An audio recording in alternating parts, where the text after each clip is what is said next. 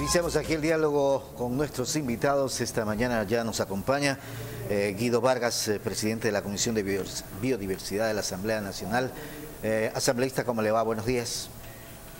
Muy buenos días a todos los amables televidentes. Gracias al pueblo ecuatoriano y a ustedes, el Telerama, que nos invitan para conversar esta mañana importante. Bienvenido. Entiendo que como presidente de esta comisión han hecho una visita en el lugar donde hubo un derrame de petróleo. Cuéntenos dónde exactamente fue qué es lo que va a hacer la comisión como tal. Bueno, dentro de todo, la Comisión Especializada Permanente tiene, como todas las comisiones en la Asamblea Nacional, su plan de trabajo para el 2023-2025. Responsablemente, esta comisión está cumpliendo al 100% el trabajo, sesionando los días primero, los lunes, miércoles y viernes de tal forma que estamos dándole el tratamiento a las normas y también el proceso de fiscalización. Está cumpliéndose en, dos momentos, el tema de fiscalización que es competencia de la legislatura y también el tema de la legislación. De tal forma que en el tema de fiscalización nosotros estamos abordando ya el 50% ya del trabajo realizado desde territorio y también en el trabajo de comparecencia de las autoridades que muy gentilmente están contribuyendo con sus aportes y descargos también para poder tener claro de lo que tiene que ver las instituciones, tanto el Ministerio del Ambiente, Ministerio de Energía y Minas, Petroamazonas y también a través de ellos las empresas privadas. Esto es el trabajo directamente de fiscalización en el tema petrolero, en el tema minero y en el tema eléctrico, ¿no? Entonces, ese, ese proceso y este plan está avanzando, de tal manera que el pasado, el pasado día miércoles 7 y jueves 8 de de febrero, logramos cumplir una agenda de recorrido en sitio, en territorio, tanto en la provincia de Sucumbíos como en la provincia de Orellana.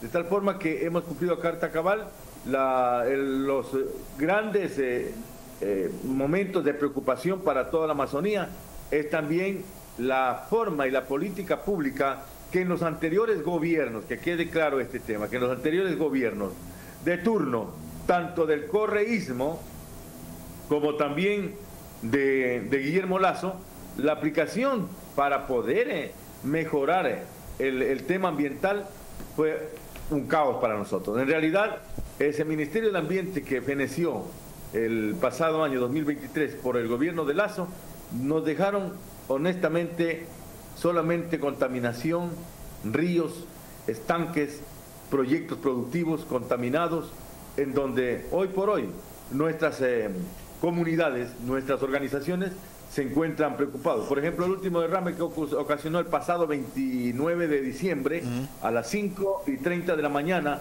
un impacto inmenso contra la tubería, el oleoducto transecuatoriano, en donde se, se regaron más de 5.700 barriles de petróleo sobre los estanques de piscicultura, más de 28 estanques que se perdió la tilapia, la cachama, y también la producción de paiche, ¿no? estas afectaciones, estas afectaciones asambleístas eh, generaron sin duda pérdidas económicas para los sectores que ahí usted menciona. Cuantiosas, cuantiosas pérdidas. Créame, ecuatoriano, que una cosa es que dialoguemos 15 minutos, 10 minutos en, televisión, y otra cosa es recorrer el territorio días enteros, cómo se encuentran los pasivos y fuentes de contaminación. A partir del año 2013, hasta la presente fecha que dejamos claro, creando una nueva empresa de remediación y mitigación ambiental que era la empresa pública Amazonía Viva, hoy por hoy ha decaído, nos dejó sin presupuesto el gobierno del pasado, nos han dejado sin recursos para que la, empresa pública pueda ejecutar la remediación.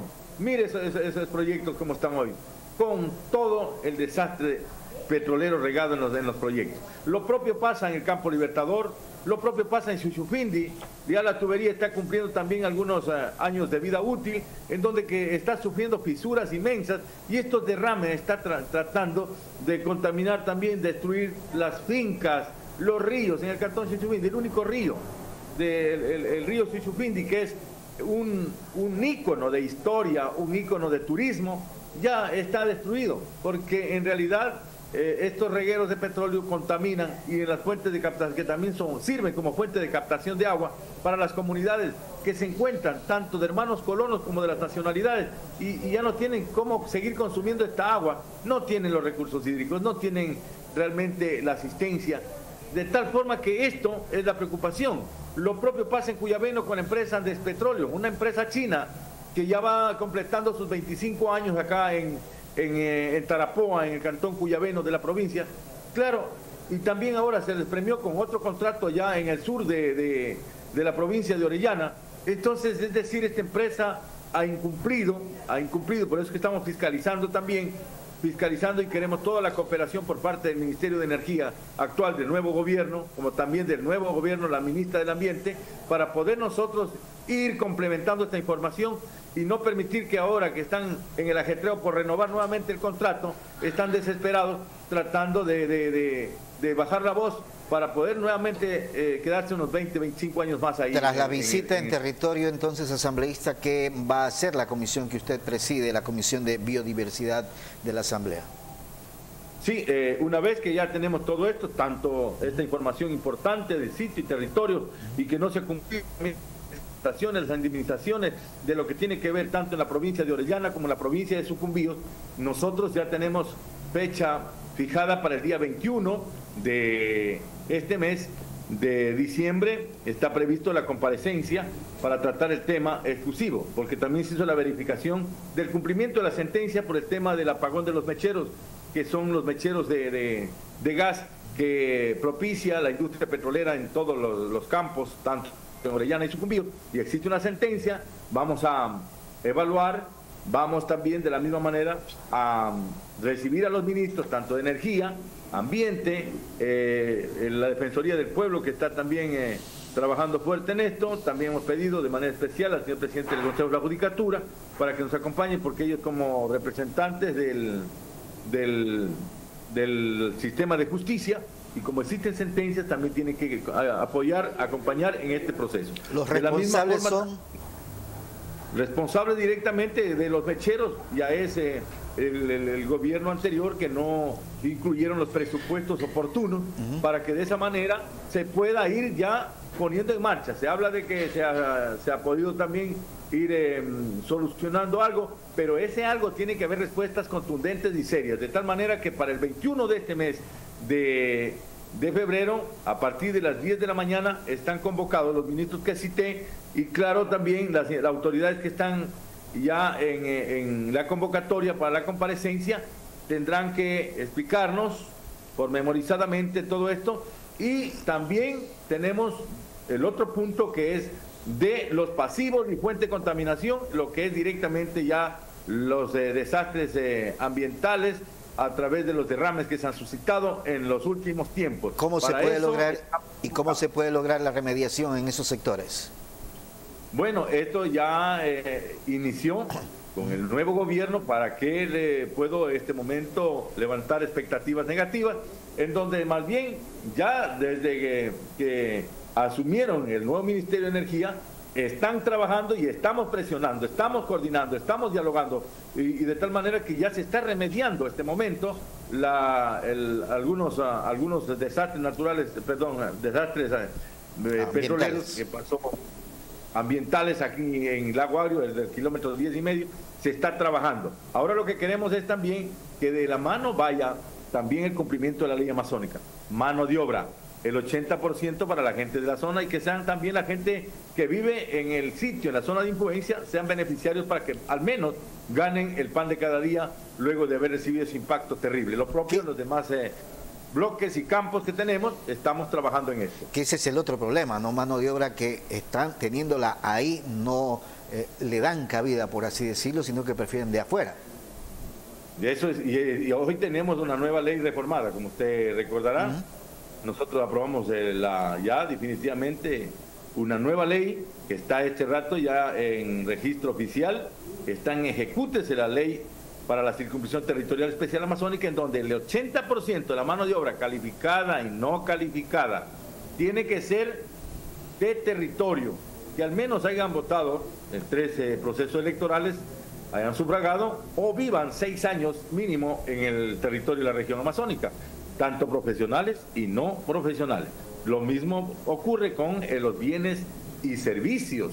Eso es lo que también se va a fiscalizar, pero esto se tratará en otro momento que es para el próximo 28 de, febrero. De, febrero está previsto la tercera convocatoria, sería para que comparezcan los ministros para hablar ya lo que del cumplimiento de la ley amazónica y también nos digan cuántos barriles de petróleo produce cada uno de los campos y bloques petroleros, tanto de, de las provincias de Sucumbíos, Orellana, Napo y Pastaza, porque también tenemos una pequeña parte en las dos provincias de Napo y Pastaza. Entonces, esos reportes los van a entregar para el 28. De la misma manera, también ahí se va a revisar los contratos petroleros. ¿Qué pasó con Andes Petróleo?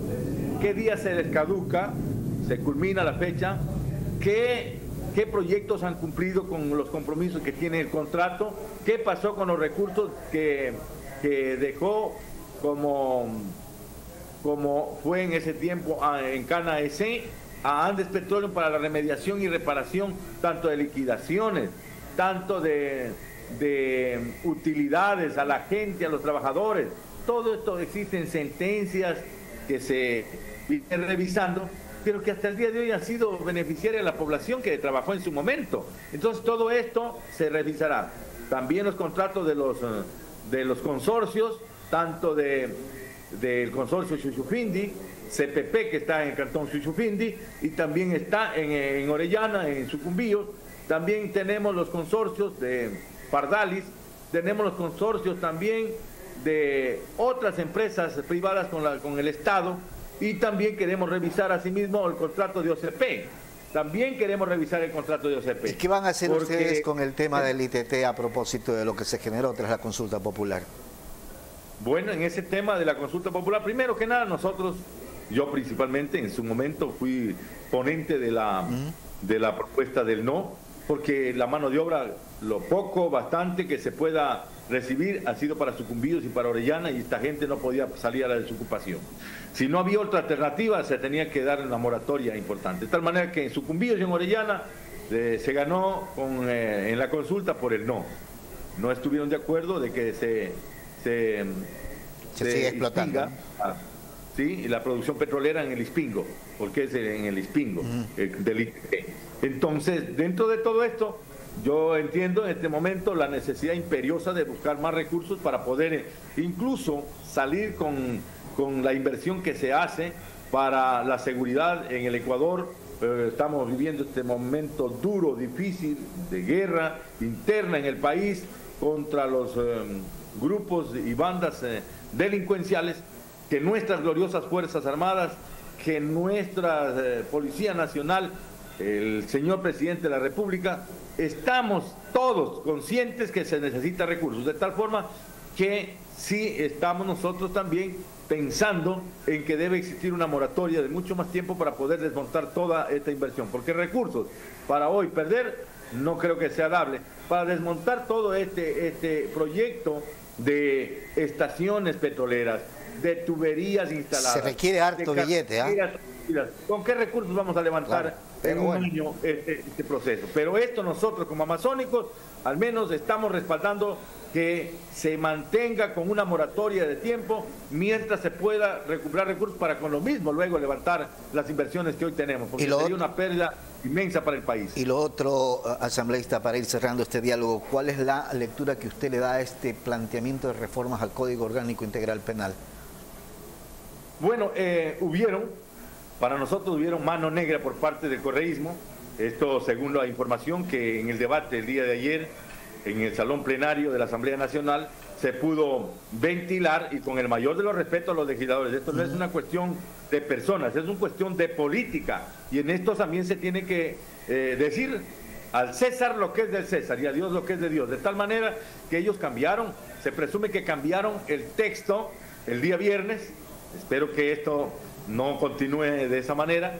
Y claro, eh, se incluyeron cosas que, como por ejemplo, de, que en el código se pueda abrir sin ningún inconveniente, diga usted, un, un, recurso de revisión en cualquier momento de una causa y claro, es más, incluso pueda revisar violentando incluso las mismas sentencias de ejecutoriadas y luego de eso, en ocho días incluso se puede hasta archivar los procesos. Eso genera impunidad a juicio de, algunos. Nacional, los legisladores no estuvieron de acuerdo, de tal manera que eso eh, se suspendió, se suspendió, esperamos retomar este tema. Nuestra propuesta es de que se vote por bloques y así se ha venido analizando.